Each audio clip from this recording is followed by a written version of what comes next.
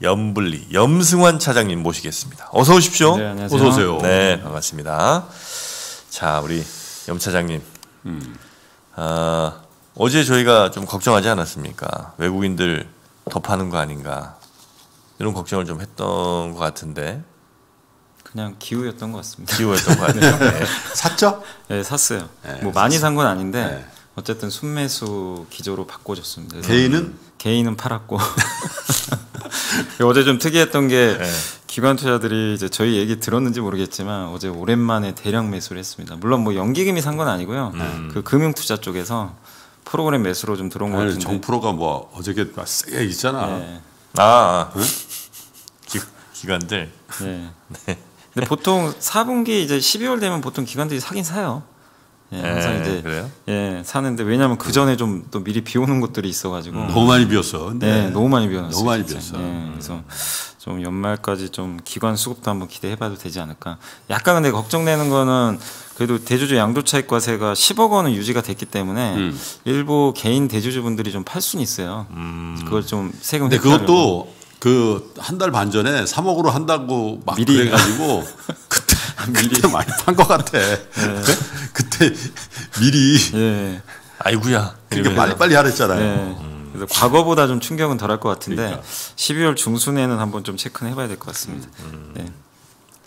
자, 그러면 아, 시간이 조금 있으니까요. 네. 오늘 뭐부터 좀 살펴볼까요? 일단 이제 이슈 뭐 수출 데이터들이 다 나와서 아까 이제 자동차 말씀해 주셔가지고 네. 전 반도체랑 2차 전지 한번 좀 말씀해 드리겠습니다. 일단 반도체는 뭐 너무 데이터가 좀 좋아서 좀 걱정일 정도로 지금 이제 5개월 연속 플러스 성장이고 16.4% 네. 11월에도 증가를 했고 3개월 연속 이제 뭐 한 자릿수도 아니고 좀 두 자릿수고 상세하게 좀 말씀을 드리면 서버 서버는 역시 안 좋아요. 좀 계속 서버 아. 쪽은 지금 뭐 구글이나 마이크로소프트가 워낙 투자들을 안 하고 상반기 네네네. 재고를 이미 많이 쌓아놔가지고 서버는 안 좋은데 나머지는 다 좋습니다. 모바일도 지금 좋고 그러니까 최근에 뭐 하이닉스가 좀 탄력적인 뭐 이유 중에 하나도 뭐 이런 이제 소비재 제품들이 좀 수요가 강해서 네. 좀 주가 좀 강한 것 같은데 또 모바일 또 재택근무 같은 게 좀 확산되면서 노트북, PC 이쪽 수출이 계속 늘어나고 있고 국가별로 말씀드리면 중국이 한9% 늘어났고요. 미국이 좀 많이 늘어났습니다. 25%. 그 유럽이 65%라고 하는데 이게 이유를 좀 알아보니까 독일 완성차 업체들이 이제 전기차 생산 확대하면서 거기에도 이제 반도체 많이 들어가잖아요. 네. 그래서 그쪽 유럽 쪽이 좀 특히 65% 가장 높게 성장을 했습니다. 사실 이제 이 자동차가 다 전장화되니까 네네. 거기에 반도체도 뭐 반드시 들어간다 이렇게 보시면 되겠고 그 다음에 시스템 반도체 수출 데이터도 처음 나- 공개가 됐다고 하는데 요거는 지금 이제 그 올해 11월까지 누적 272억 달러 정도 기록했는데 이게 2018년도에 연간 수출이 가장 많았던 그 데이터를 지금 이미 넘었다고 합니다. 11월까지 했을 때. 그래서 시스템 반도체가 뭐 이미지 센서나 이런 것들을 뭐 다 통칭하는 건데 비메모리 쪽도 지금 되게 잘 되고 있는 것 같아요. 그래서 낸드 뭐 D램 낸드는 뭐 물론 좀 공급과잉이 있다고 하더라도 매출이나 이런 거 봤을 때 확실히 반도체 주가 올라가는 게 뭐 데이터로도 좀 증명이 되고 있다 네. 이렇게 보시면 되겠고 그 다음에 어제 뭐 아까도 잠깐 이제 박병창 부장님 잠깐 얘기하신 것 같은데 마이크론이 이제 guidance를 상향 조정해서 어제 주가 급등했잖아요. 네. 그래서 그 내용 간단히만 말씀을 드리면 일단 이제 여기도 뭐 똑같이 나와 있습니다. enterprise 이게 이제 그 서버 쪽인데 이쪽만 부진하고 나머지 다 좋다. 예, 그렇게 마이크론도 언급을 해줬고 특히 뭐 디램, 낸드 뭐 판매 가격 모두 다 지금 예상보다 좀 좋은 상황이다. 다만 이제 낸드 쪽은 아직은 조금 공급 과잉 상태다. 이렇게 좀 언급을 해줬고요. 네. 화웨이 좀 매출 비중이 좀 높잖아요. 그래서 그 마이크론이 좀 높은 편인데 네. 9월 14일 이후는 당연히 출하를 좀 못했다고 얘기를 했고 다른 모바일 고객사로 지금 주문을 이동을 하고 있다고 합니다. 그래서 네. 중화권 모바일 고객사와 워낙 좀 관계가 좋기 때문에 긍정적으로 좀 얘기를 해줬고 그다음 중국의 경쟁사들 뭐 위협 같은 것들이 좀 있었지만 뭐 무시하는 건 아니지만 중국 경쟁사로부터 뭐 이런 것들이 항상 있었지만 뭐 최근에 뭐 칭화유니 그룹도 뭐 부도가 네. 날 정도로 어려워졌고 이미 경쟁사들이 매년 그 기술력에서 뒤처지고 있대요. 못 따라오고 네, 네, 있다고 합니다. 네, 그래서 네. 중국 위협은 뭐 너무 걱정할 필요 없다. 그런 좀 내용이 있습니다. 그 짐 로저스가 동학개미들 경고했습니까? 네, 경고했어요. 그러니까 아니 동학개미들이 큰 손실 볼 것 같다고 왜? 그 인터뷰를 한 게 있더라고요. 이, 이유가 뭐예요? 그 부채 때문에요. 너무 B2에서 그 내용 제가 읽어보니까 네. B2 때문에 비투 많이 하셨나? 예, B2 그래서 우리가 저 어, 내일인가요? 그 짐노조스가 우리 3프로 TV 나옵니다. 아, 네, 네, 네. 아 그러세요. 네, 글로벌 라이브 시간에 음. 에, 나오고 싶대요. 네. 네. 실제로. 여기밖에 없으니까. 네. 네. 여러분 농담이 아닙니다. 진짜예요, 진짜. 짐 로저스. 내일이죠, 내일. 네, 내일입니다. 내일. 네. 내일 글로벌. 네. 실시간 저희가 어, 통역사도 지금 배치를 해놨죠. 네. 네. 정프로가 뭐 통역한다는 얘기가 있었는데. 네, 제 발음이 이제 약간 좀 저는 아니, 근데 짐 로저스 영어는 정 프로 수준에서 충분히 통역이 가능해요. 아니 그 저는 근데 약간 음. 좀 북쪽이라 그분이 약간 좀 남쪽 발음 쓰시더라고요. 그런가? 저랑 잘 안 맞아요. 아, 거기 싱 발음이야. 싱가포르. 싱 발음.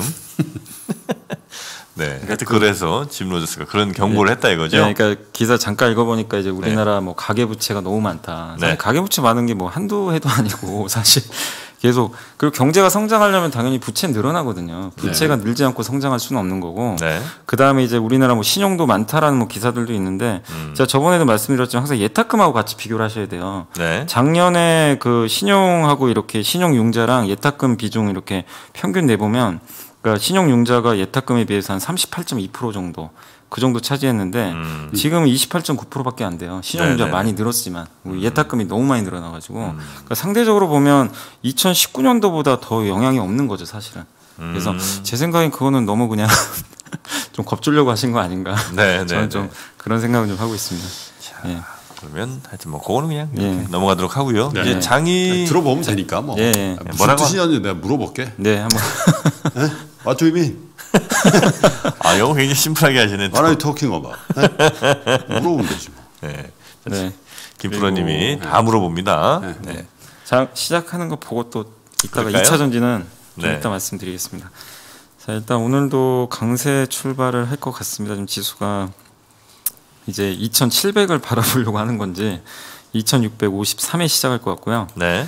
오늘 코스닥도 이제 900이 얼마 안 남았네요. 895포인트 정도에 일단 이제 갭상승이 나오면서 시작을 좀 할 것 같습니다. 지금 아무래도 마이크론이 좀 주가가 워낙 좋아가지고 하이닉스가 바로 반응을 하는 것 같아요. 그래서 지금 예상가는 하이닉스가 한 3% 정도 갭상승이 나올 것 같고 또 LG화학도 뭐 독일 테슬라 공장 그 그쪽에 뭐 주문이 추가로 뭐 들어올 수 있다라는 뉴스가 어제 나와가지고 LG 화학이요. 네, LG화학이 그래서 1% 이상 오늘도 좀 갭상승이 나올 것 같고 뭐 셀트리온 또 LG생활건강, SK텔레콤, 포스코. 그러니까 어제 보니까 시총 상위주들이 안 오른 종목들이 없더라고요. 어제 보니까 어제 뭐 대부분 다 올랐는데 일단 오늘 시초가도 대부분은 다 강세로 일단 시작을 할 것 같습니다. 자, 현재 이제 9시 시작이 됐고요. 코스피가 20포인트 정도 올라서 한 2,650에 출발할 것 같고요. 코스닥은 4포인트 한 895 정도에 시작을 할 것 같습니다.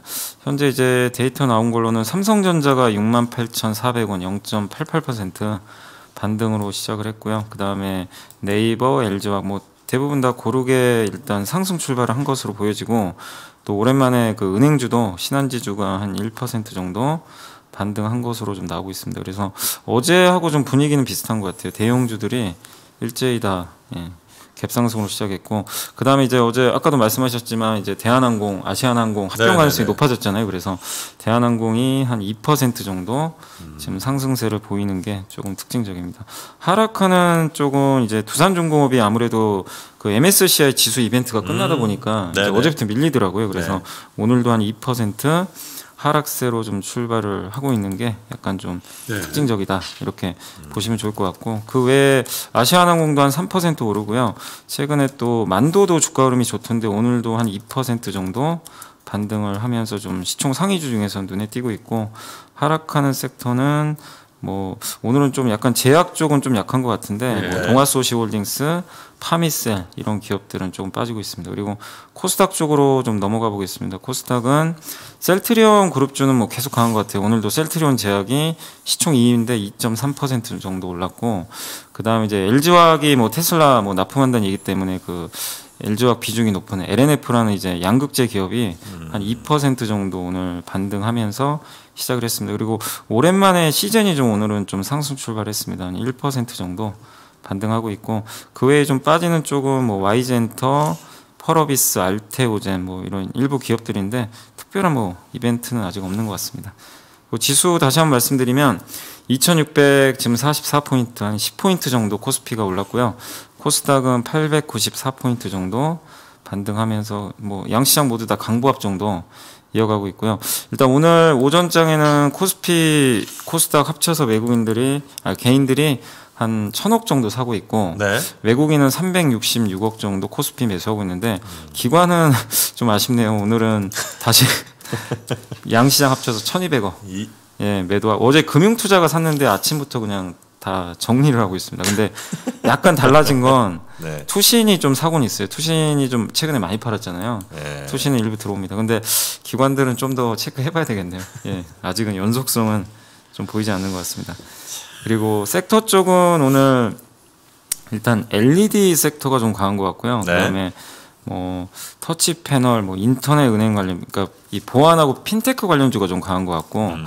그다음 반도체 대표주 아까 이제 마이크론 이벤트 때문에 좀 강하고요. 그다음에 항공사 이쪽 또 3D 낸드 어제 좀 논란이 가장 컸던 게 3D NAND예요. 왜냐하면 한 증권사에서 그 시장이 기대하는 거 이상으로 설비 투자 안 나올 것 같다. 네네. NAND가. 근데 이게 최근 consensus가 다 설비 투자 늘린다는 쪽인데 갑자기 한 증권사에서 좀 안 좋게 쓰다 보니까 3D 낸드 업종이 그냥 다 어제는 반도체 낸드. 네, 낸드 뭐 장비 소재가 낸드는 원래 그렇게 좀 얘기했 던거 그? 삼성전자가 직접 IR에서 얘기를 했어요. 네. 기대 이상으로 늘어난다고. 음. 그다음 이번에 어, 제 있었던 온라인 포럼에서도 음. 직접 언급을 했는데 모르겠습니다. 근데 어쨌든 그그한 증권사의 그 네. 보고서가 좀 화제가 돼가지고 낸드는 유명한 말이 있죠. 음. 낸드라나 그런 말이 있습니다.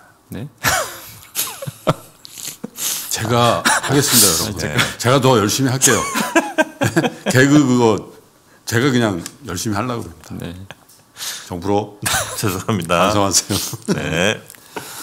자, 그래서 오늘은 어쨌든 그 마이크론도 좋은 쪽으로 언급을 하다 보니까 네. 반도체 3D 낸드는 다시 하루 만에 반등하고 있고 약간 이제 하락하는 섹터는 많이는 없는데 코로나 관련주, 모더나 관련주가 좀 빠지고 있고 어제 강했던 인터넷 대표주 그리고 최근 좀 가장 핫했던 게 조선 업종인데 조선주 좀 빠지고 있는데 이게 빠지는 이유가 오펙 회의가 연기됐어요. 음. 러시아가 완강하게 반다, 반대를 한다고 합니다. 감산을. 네네. 러시아는 아시겠지만 그 이런 천연가스나 원유 판매에서 먹고 사는 나라잖아요. 근데 음. 자꾸 유가도 낮은데 감산해 버리면 재정에 엄청난 타격이 오거든요. 그래서 사우디하고 지금 합의가 안 돼 가지고 그러니까 이 부분이 좀 유가에 부정적으로 작용할 수가 있기 때문에 오늘 조선주는 일부 좀 이런 뭐 핑계거리로 좀 쉬어간다 네. 이렇게 생각해 주시면 좋을 것 같습니다. 자, 주요 리포트들 빨리 한번 살펴보도록 하겠습니다. 네. 네. 리포트는 뭐 이게 시간이 될지 모르겠는데 네. 여기 아까 그 2차 전지만 좀 간단히 말씀드리면 네. 2차 전지도 수출이 지금 굉장히 많이 늘어났어요. 그래서 데이터는 지금 상당히 좋은 상황이고 음. 특히 미국 수출이 지금 급증하고 있습니다. 그러니까 미국이 유일하게 안 열렸던 국가인데 미국이 지금 이번에 11월 달에 204%나 증가했습니다. 수출액이. 뭐 테슬라에 파는 거예요? 아니 이제 우리나라에서 우리나라 이 배터리 그러니까 우리나라. 배터리를 미국에 그러니까 미국의 GM도. 있잖아요. GM. 아 GM. GM 포드도 있고. 아니 그 미국의 전기차 시장이 생각보다 작아요. 네 맞아요. 네?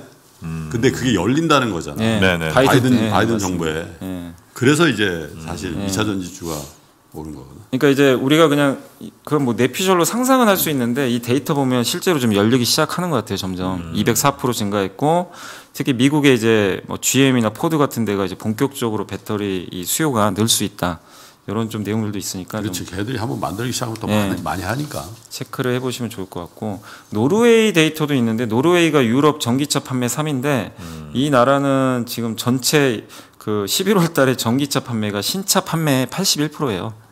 81%. 노르웨이는 법적으로 아마 네. 전기차 그 제일 강하게 네. 강제하는 데죠. 예, 그러니까 내연 기관차가 거의 그냥 아예 없다고 참 보시면 돼요. 노르웨이 대단한 거야. 예, 대단한. 유럽의 가장 큰 산유 구간이에요. 예. 그 나라가 전기차를 무조건 타야 된다라고 네. 하는 것도 참 대단한 거지. 자 그리고 뭐 간단히만 설명드리겠습니다. 그 오늘 보고서는 여러 개 갖고 왔는데 나머지는 제가 내일 말씀드리고 네. 오늘은 저번에 그 이진호 연구원님 나오셨잖아요. 그래서 네, 그 얘기도. 하셨던 거 제가 기억나요. 저도 봤는데 그 전기차 침투율이 지금 이제 0에서 100% 따지면 옛날에 애플 뭐 이렇게 스마트폰 나왔을 때도 0에서 10%일 때가 가장 섹터가 다 좋았습니다. 그러니까 모든 섹터가 다 올라갔어요. 뭐 네가 잘났네, 내가 잘났네가 웬만하면 아니라 다 올라간다는 예. 얘기야. 네네. 그러니까 그때는 애플, 노키아, 블랙베리도 다 올라갔다고. 그러니까. 예. 그러니까 지금 현재 전기차 침투율이 4.5%예요. 현재 2023년도에 10% 간대요. 음. 그러면 이게 이제 이중혜 연구님이 쓰신 거는 2030 그러니까 23년까지는 결론적으로는 뭐 LG 화학이냐, 삼성 SDI냐, CATL이냐 고민할 것도 없다. 네, 고민할 게 없다는 거죠. 그냥 아무거나 사도 사실은 아, 다 먹을 수 있다는 얘기고 근데 10%가 넘어가면 차별화가 된대요. 음. 그러니까 2000 그러니까 제 생각에는 이걸 딱 본 순간 저는 2022년까지는 사실은 너무 고민할 필요는 없을 것 같다. 음. 2023년부터는 좀 고민해 봐야 되겠죠. 왜냐하면 10%가 넘어가면 거기서부터는 이제 치고 가는 회사가 생겨요. 탈락하는 기업들이 있으니까 전기차 투자하실 때는 이게 뭐 이번에도 맞는다는 아니지만 과거 데이터로 봤을 때 네. 그런 흐름들이 좀 나올 수 있으니까 생각을 해주시면 좀 좋을 것 같고 그거 외에 이제 또 전기차 쪽에서 그 하이투자증권의 정원성 연구원님도 예전에 한번 나오셨던 것 같은데 네, 자주 나왔죠. 예, 또 쓰신 자료가 뭐냐면 이분도 이제 그 얘기를 하셨어요. 미국의 판세 변화로 전기차 시장 성장의 기울기가 더욱 가팔라진다. 썼고, 그러니까 침투율은 4.5%인데 가장 부진한 게 미국인데 뭐 아시겠지만 바이든의 환경 정책 변화, 그 다음에 이제 30년까지 충전소 50만 개 확대. 이런 것들이 이제 가시화되고 실제로 이제 그거 나오고 나서 GM이 그 전기차 그 판매 계획을 완전히 상향 조정해 버렸잖아요. 그래서 미국 시장이 좀 크게 열릴 것 같은데 제일 문제가 이제 우리나라 업체로 봤을 때 제일 문제가 내연기관차하고 이제 그러니까 그 예전에 테슬라가 배터리에 대해서 그 배터리 가격 낮춘다고 했잖아요. 그러려면은 소재비를 절감하든가 공정 네. 향상인데 그건 테슬라가 할 수 있는 거고 우리나라 기업들이 할 수 있는 거는 에너지 밀도를 올려버리면 된대요. 그러니까 같은 크기의 배터리라고 하면 거기다가 에너지 밀도를 두 배만 올려도 네. 원가가 그럼 50%로 감소가 하는 거잖아요. 그 효과가 좀 나올 수가 있기 때문에 아. 에너지 밀도를 올리려면은 우리나라 소재 업체들의 그 여러 가지 뭐 음극재 실리콘이나 뭐 도전재나 네. 또 특수 전해제 이런 걸 넣으면 이 에너지 밀도가 올라가니까 음. 그래서 우리나라 그 업체들 입장에서 봤을 때 당장 저거를 뭐 테슬라처럼 원가를 엄청 낮출 수는 없으니까 음. 소재 업체들한테 좀 수혜가 갈 수 있다 그런 내용이니까 한번 이런 뉴스는 체크해 보시면 좋겠습니다. 뭐 모든 애널리스트들이 걱정하지 말라 그랬는데도 손이 안 나가는 이유는 뭘까? 잘 생각해 봐야 될 것 같습니다. 네. 자 오늘 일정 한번 간단하게 아, 정리하고 일정까지는 네. 말씀드리겠습니다. 예, 오늘 이후에서 이제 10월 실업률 나오고요. 네. 또 파웰 의장의 하원 증언이 있었고, 네. 뭐 어제도 뭐 계속 부양책 쓰겠다고 얘기했고요. 그다음 영국이 이제 오늘부터 코로나19 봉쇄령 해제에 들어가고 지금 9시부터 하는 것 같은데 온라인상에서 네. 그 현대차 관심 있는 분들 한번 유튜브 봐보세요. 이 GMP 플랫폼을 공개한다고 합니다. 어, 그래요? 드디어 오늘 공개하니까 보시고 JYP 엔터에서 이제 일본 걸그룹 니주가 오늘 정식으로 데뷔를 한다고 합니다. 니주? 예, 니주. 이름이 니주예요? 일본인 일본인 이제 걸그룹. 이름이 니주예요? 니주. 아 저는 미주, 미주를 만나러 가야 되는데 미주. 니주. 미주 알아요? 미주? 미주 뭐요? 아, 걸그룹 그 아이돌 스타 미주를 몰라요? 미주? 미주라는 아 모르는구나 미주. 미국 주식에 미치다? 그건 아닙니까? 아, 좀 있어요 미주. 아 미주라고 따로 있어요. 아 근데 이번에 일본에서 공개한 그룹은 니주. 니주. 예. 그룹이 아니지 니주라고 니, 니 그룹 이름이 걸그룹이에요. 예. 아 사람 이름 아니고 아니, 사람이 아니라 여자 걸그룹입니다. 그러니까 일본인으로만 된. 여자죠 여자. 예. 근데 JYP 엔터 박진영 씨가 이제 만든 음. 그룹이죠. 약간 뭐 그냥 방송국에서 많이 쓰는 말로 니주를 깐다 이런 말을 많이 하잖아요. 그게 무슨 의미가 있는 모양이네, 그죠? 글쎄 뭐 일본 말이라 모르겠습니다. 저도 내용. 아니 그 미주 몰라 진짜? 러블리즈 미주? 아 러블리즈의 멤버가 미주예요. 아 미주를 모르다니 러블리즈의 미주. 개미는 뚠뚠의 그 새로운 여성 패널로 아 나온 미주. 내가 담당이야. 아, 미주. 아 담당이세요. 네, 미주 미주를 내가 이렇게 잘 아 진짜 아. 사차원이더라고 미주. 아 잘 성장을 시키셔야 되는 거구나. 김가영 씨 은퇴시켰고 누구 누구요? 김가영 씨라고 예. 기상캐스터였잖아. 아 그래요. 그분은 이제 반열에 올라서 어 훨씬 은퇴하셨. 문제가 큰 미주가 들어왔더라고. 내 지금 미주 만나러 가야 돼 지금. 아 만나러 가십니까? 좋은 만남 하고 오시기 바라겠습니다. 자 오늘 저희와 함께 해 주신 이베스트 투자증권의 염승환 차장님 대단히 고맙습니다. 네, 감사합니다. 네.